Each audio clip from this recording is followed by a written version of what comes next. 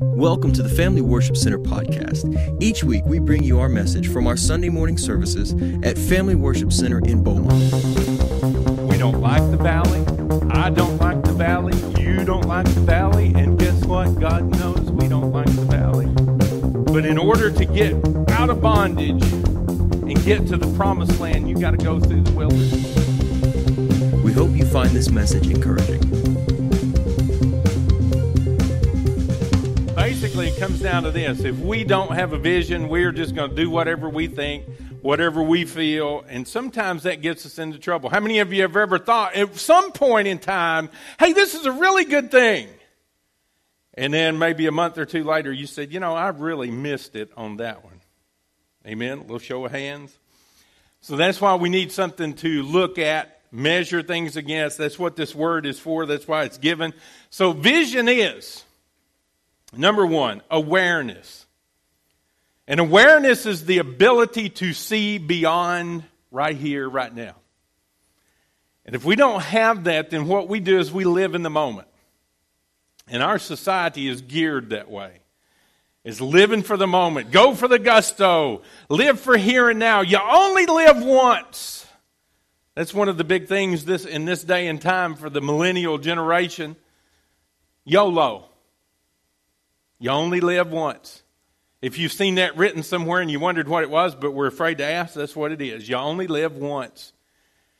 And I'm telling you, our society, our nation, our world today lacks the vision to see beyond today.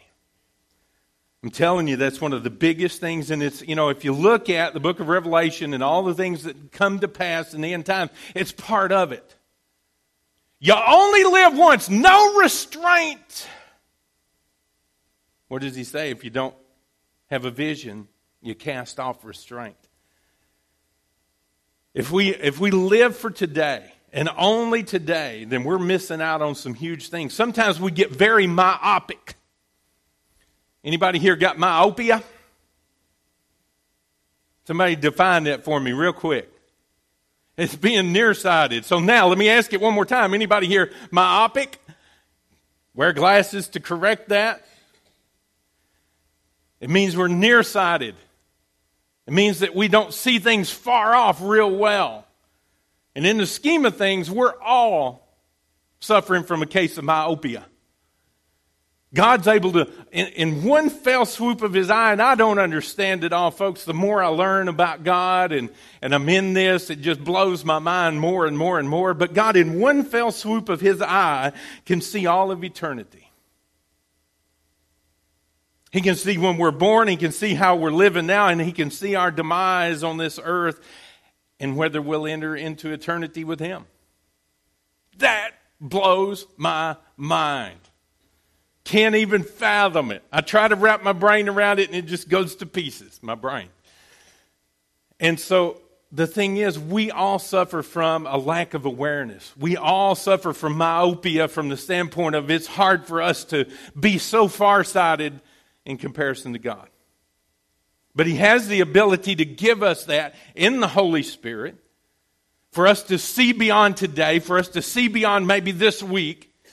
I mean, we've all got plans. How many of you have your calendar this week? It's full. You got appointments. You got to work. You got to do this.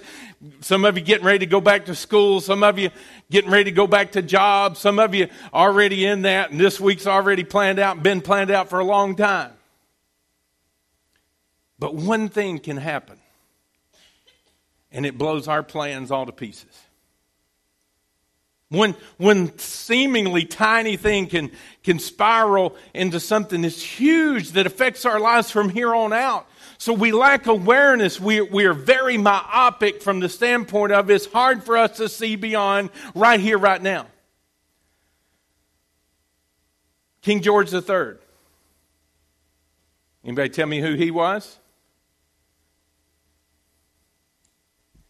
King, King of Great Britain, the British Empire, just so happened to be the one that was the king during this nation's beginnings and whenever this little thing called the Declaration of Independence was signed.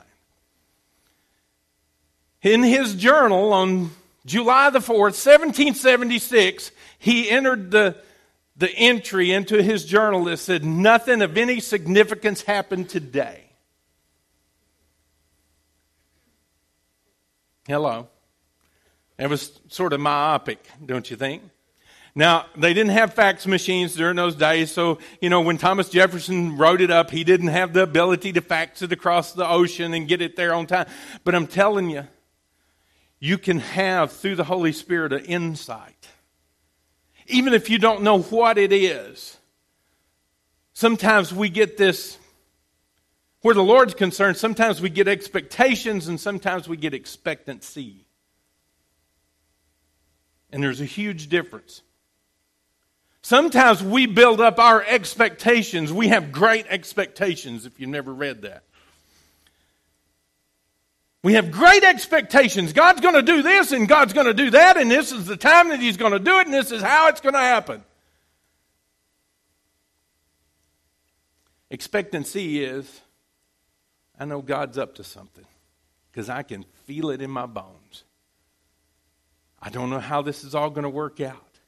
I may be in a situation where I can't figure it out. I, my mind is so finite that, that I'm having trouble figuring out how this is going to happen.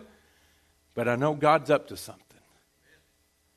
And that's where we ought to live, not in the expectations, because sometimes our expectations fall way short of what God has planned and we stop working at it. Sometimes we settle for crumbs whenever God has a whole great big cake for us. We'll live over here in, the, in that expectancy. I feel God's presence. I know what I'm thinking. I, I know what I'm feeling, but God may have something way, way, way bigger than that. eye has not seen, nor ear heard. Amen. All those great things that God has in store for those that love Him. So the thing that we've got to do is realize God's, God's not myopic. He is very, very far sighted. So why would I limit Him by saying, this is what it's going to be? This is my outline. And it has to measure up to this. And then there's where I'm going to quit. Verses the limitless, endless, boundless opportunities that God puts before us. So sometimes what we've got to do is stand back and say, I'm very, very small. And God is really, really, really big. And I can't figure it all out, but God's already got it figured out. He knows who I am. He knows when I was going to be born. He knows how I was going to live and that I was going to give my life to Him, my heart and my soul. And He's got something bigger that sometimes I can't figure. See, I've shared with you, there have been several, several times in my life when I thought I had it all figured out. And the further I go in this, the less I try to figure it out. Amen? Because I, I miss it every time. The, the, the, the, the example has been given. I can't figure it out. I don't know every turn and twist in this thing. The thing that I know is that he wrote the last chapter in the book and we win. Amen. That's all I've got to do. Sometimes you don't have to know where you're going as long as you know who you're following. Amen. It doesn't matter all the tr- little trails in between. The only thing you got to know and trust in is who you are following. So, having a vision is an awareness that, hey, I'm pretty small in the scheme of things. I, I, I can't figure it all out. So, the only thing I've got to do is figure out who I'm following. And realize that He's got some plans that would absolutely blow my mind and your mind. And that sometimes he can't show us the, the whole big picture because it would absolutely, it would be like tilt. And we wouldn't be able to, we wouldn't be able to take it all in. Or we would start trying to make something happen in order to achieve that end result. In other words, we'd mess it up. So sometimes he is, he is, he limits our ability to see so that we won't foul up his everlasting plans. Amen? So we look at the word and, and Moses, in Hebrews chapter 11, it talks about Moses. Moses chapter 11 is what I've always referred to as the hall of faith, and it tells us about all the people that by faith did great things for the kingdom. And Moses stands out in that, and, and it says, Moses did not fear the king's anger, talking about Pharaoh. He kept right on going because he kept his eyes on the one who is invisible. How do you keep your eyes on something that's invisible? You had to see it with that right there.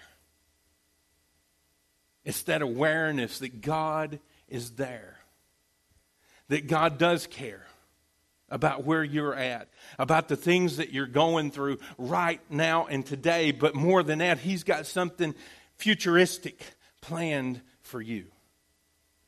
Jeremiah 29 11. I know the plans I have for you, says the Lord.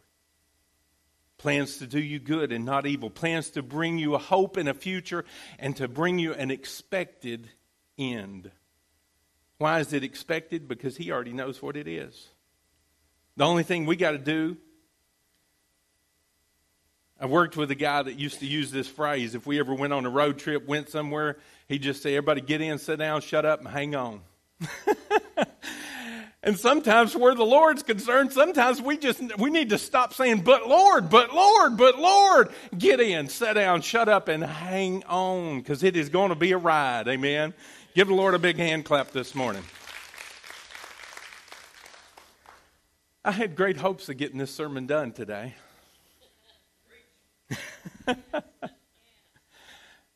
we'll finish it next week if we don't get done today. So Moses endured, not worrying about what this world was going to bring, because he saw the one who was invisible. He kept his eyes on the one who was invisible. We get way too technology based in our day and time. We want to see everything, know everything, and hey, I'm not throwing rocks at anybody. I'm the world's worst. Somebody will bring up a subject. First thing I do, whip out that phone. Hey Siri, tell me about. Some of you don't have Siri. You've got that other thing that they have. What is it, Chad? Oh, it's Google. It's Android. That's a little joke between me and Chad. and Bill. Bill's in on that sometimes. They, they like that Android thing. So sometimes we get so, I got to figure it out. I got to know. I got to have the answer right now. And sometimes the waiting is part of the process. It's that thing that we have to do. Abraham, it says, realized that he was a sojourner, a foreigner on this earth, and that he was looking for a city, but he came to the knowledge that he was looking for a city that wasn't here. It was a city whose builder and maker was God. And I don't know about you, but there are some times on this earth that I began, after my walk with the Lord, that I began to feel like a foreigner. I began to feel like a stranger, a, a, a, sojourner, somebody that's just here for a while. And, and I, I don't feel at home here anymore like I used to. Because used to, I felt like I fit in. And anymore, I feel like I'm a stranger here. I, I don't feel like some people feel about this thing. And I realize that I've, I'm homesick for a place that I've never been before. I'm looking for something that will never be found on this earth, that it will only be realized one day whenever He calls me home and I get to say, Oh, hallelujah, isn't this grand? And we have to realize that we're strangers here. Because sometimes we look at things and you're, you're looking at people sometimes you're saying, How on earth could you think that way? How on earth could you act that way? And it's, it's because there's something that's changed in here. That we're no longer our own. fellow that I used to know years ago, he was an elder in, in the church up there in Kentucky, and he's gone to be with the Lord now. He told me one time, he said, I think we ought to print green cards for every born again believer. and give them to everybody with their name on it, just so that whenever they get out their wallet, that they realize they're not at home anymore. And it's not a bad idea. Amen. Somebody comes to the altar and gets saved, just hand them a green card. Welcome to a different world. Wouldn't that be good? And the thing that we have to do is realize that this, it's that awareness. Psalm 107, or excuse me, 103, verse 7. Again, about Moses, it says, The people of Israel got to see what God did. Moses got to know why he did it. And you realize that those children of Israel had that same opportunity, but it tells us in the book of Exodus that whenever he went up on the mountain and he got the words of God, he came back down and the people said, This is scary. There were lightnings and thunderings, and the voice of God came that way, and they said, We're scared, so don't let us hear it anymore. You hear it and you come and tell us. And I'm like, What? Are you kidding me?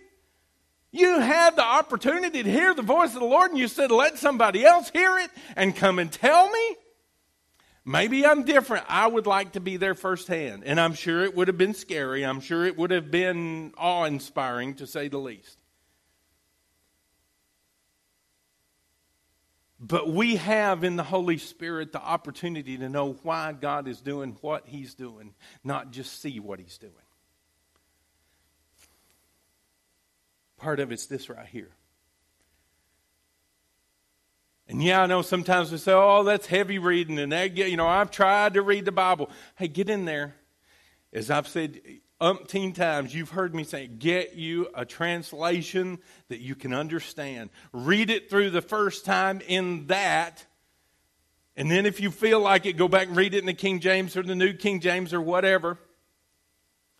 And that's, that's, I remember years and years and years ago, I, would, I, I started reading through the Bible and I'd, I'd get into all this begat, begat, begat right up here in the book of Genesis. And I'm boy like, whoo. And there are people that read this all the time. Begat, begat, begat. And, you know, it just didn't, didn't click. I got, I went and got a student Bible. Okay, there are some people that I have known that have went and got children's Bibles whatever it takes for you to read it with understanding. Jesus said, Go and make disciples. We talked about it last week.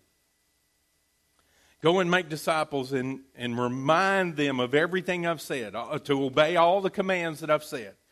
Jesus, before he left, he said, I'm going to send you another comforter. That's the Holy Spirit. He's going to be with you always, and he'll bring to your remembrance whatsoever things I've said.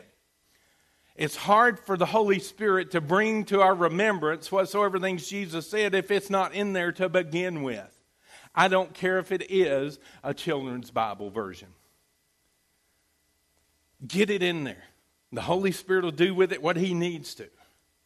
But it's part of that awareness that God is up to something, and we need to live with that expectancy, not expectations, but expectancy. God is still on the throne. God is still up to something. God has a plan, and hallelujah, I'm part of that plan. I'm not just a bystander. I don't have to be a spectator. I don't have to be in the stands. I can be out there on the field and I can be doing something for the kingdom. Amen. And I can know, just like Moses, why God did something instead of just knowing what God did. Amen. So we got, we got to get, get that part of our vision, get that part of, of what God's doing. Number two, attitude. And attitude is faith to believe. Romans chapter 4 that says that Abraham, talking about Abraham again, that even when there was no reason to hope, why? Because he was an old man. And God had told him, You're going to have a son, but here he is 90 and then approaching 100 years old. Even when there was no reason to hope, he kept on believing that he would be the father of many nations. You can't have a vision if you don't have faith. Period. If you don't have faith to believe that God can do what He says He can do and that He's for you, not against you, then all of a sudden you don't have a vision. There is no way to have a vision without having faith to believe. Jesus said in one instance, according to your faith, be it unto you. Little faith, little vision. Big faith, big vision. But what did he do? He said, if you even have faith as a mustard seed, you can accomplish great things for the kingdom. A little bitty faith can accomplish great things. And so, again, it's, it's about knowing God, about I've heard it explained this way one time. You know, there's lots of definitions for faith, but I heard it said this way one time, and it really stuck with me. Faith is knowing what God knows. And God can speak to our heart, and God can tell us things that this is, this is what's going to happen. This is how this is going to end up. But I mean, as I said earlier, our minds are so finite. Sometimes we're all caught up in the how's this going to happen, and uh, you know what what, what you know what have I got to do to make it happen? The thing you got to do is do what God tells you to do. And sometimes we get all caught up in the fact that I can't see the end result. I, I, I, can't I can't figure this out, God. So so I know you said to keep on walking, and I, I but you know, I'm just going to sit here and figure this out. So if he said keep walking, I just did what the opposite of what he said. Sometimes instead of doing what he said to do, we plop down. And well, I'll, I'll wait till I hear another word from the Lord.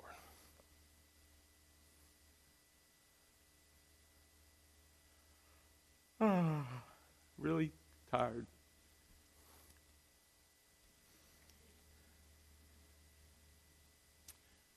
Maybe instead of reading my Bible, I'll just do that.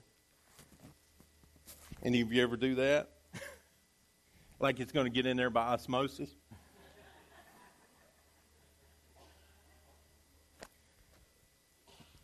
So sometimes, even though we, we don't understand it, and, and God, it looks like I'm just walking toward a blank wall. What did he do? What did he say? Keep walking.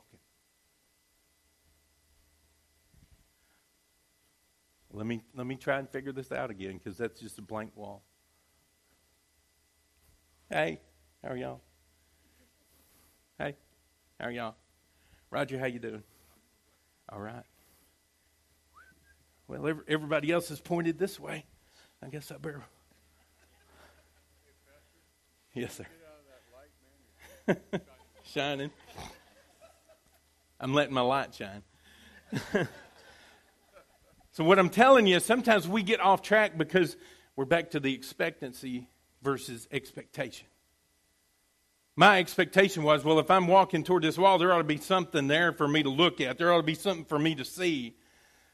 And I can't figure this out. And the thing that you got to do is whenever you are not hearing from God, go back to the last thing He said do. And if he said walk in faith, then we got to walk in faith. Because it very well could be that we are walking through the valley of the shadow of death. And if we stop and make a camp, you're going to die. Spiritually, figuratively, if not for real. You got to keep walking. That was the last thing he said. Right before I, I came down into this valley, I came down off the mountaintop. And we all love the mountaintop. Hallelujah, hold down. I mean, we're just, woo, got them little hairs on the back of your neck stand up, got goosebumps on your arm. Woo, I feel the presence of God. But there are scratch marks all the way down the backside of this mountain. Some of them are mine. Because we love the mountaintop. Don't want to leave the mountaintop. But have you ever realized that there's a certain level, if you go high enough, you go out west to the tall mountains, there is a point, it's called the tree line. Nothing grows above that. Why? Because the air is too rarefied, too thin. Where do you find the biggest trees? In the valley. We grow when we're going through, walking through the valley of the shadow of death. We don't like the valley. I don't like the valley. You don't like the valley. And guess what? God knows we don't like the valley. But in order to get out of bondage and get to the promised land, you got to go through the wilderness. How long you stay there is dependent on what you do. The children of Israel were leaving bondage, headed for the promised land. God said, I want you to take this track right here. And what happened along the way? Their faith failed. He even let them go in and look at the promised land. Come back and give us a report. And those spies came back and said, It is everything God said it is. They were carrying a cluster of grapes that it took two men to pack. They put it between them on a staff. I've seen some pretty nice vineyards. My dad always grew grapes uh, when we were growing up, and I've never seen a cluster of grapes big enough that it took two people to pack. Truly, it is a land of milk and honey. It is everything God said it was. Well, Joshua and Caleb, then let's go up at once and take it. Oh, but gosh. What we were lacking in telling you is there's giants in the land. Wah! Do you think God is setting you up for failure or success? Then would He put you up against an opponent that you could not defeat? So, what happened was the people listened to the report of the naysayers, the negatives, the bad news people, not the good news people. And what happened was they went to the, their, the tents of their, their door of their tents and they began to cry. There is no way. There is no way that we're going to be able to take this land. Sometimes we have a little pity party. And as I've said many, many times, it's okay to sit on your pity pot. Just flush it when you get up. Amen? We all have days, we all have moments whenever we are like that. I just can't believe it. Just, it's just been the worst week I've ever had.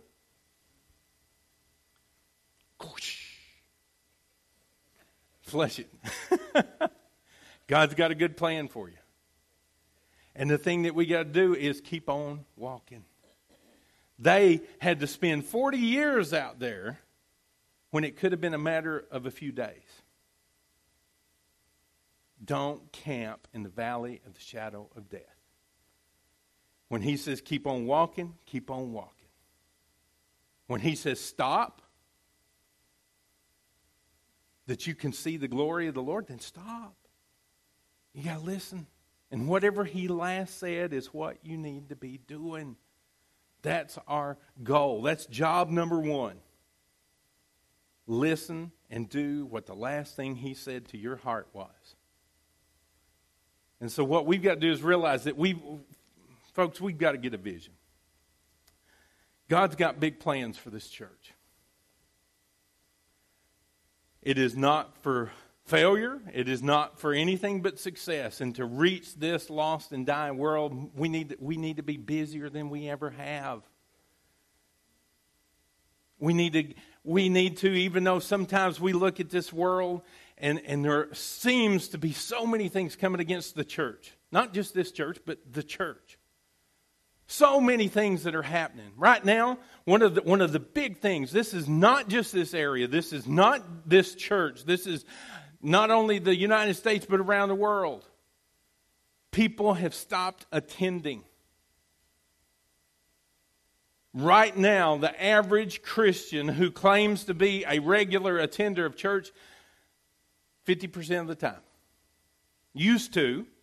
If you said, I'm a regular attender in church, you were here Sunday morning, Sunday night, Wednesday night, and anything in between. If we had a revival during the summer, you were there every night. It doesn't happen that way anymore.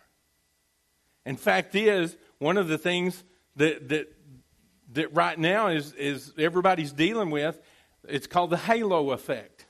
And they do these surveys, and it's like, what do you do? Do you go to church? Yeah. But of those people, there's half of them that don't attend. Right now, the figures, as far as surveys is, about 40% of the United States attends church anymore.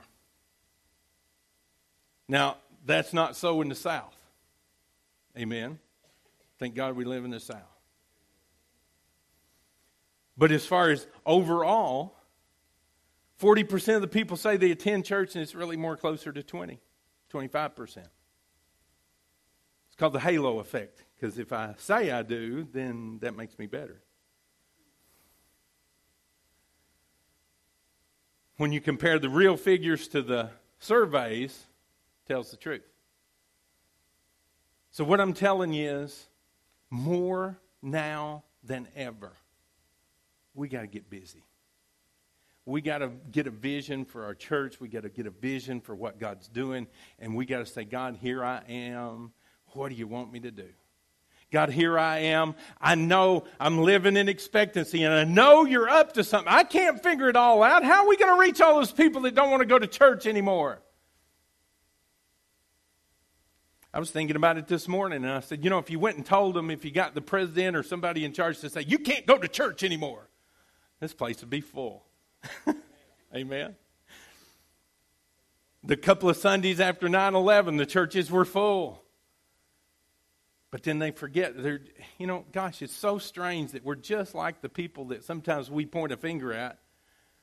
Children of Israel, they times that get rough. Oh God, we can. Oh, we need you. Okay, things are pretty good. See you later. Amen. I don't want it to have to come to that. So, what is our job? Talked about it last week. Our job is to be the good news people. Go out, spread the good news, make disciples, teaching them to observe whatsoever things Jesus commanded. And really and truly, when you look at it in the big scheme of things, that was the last thing he told us.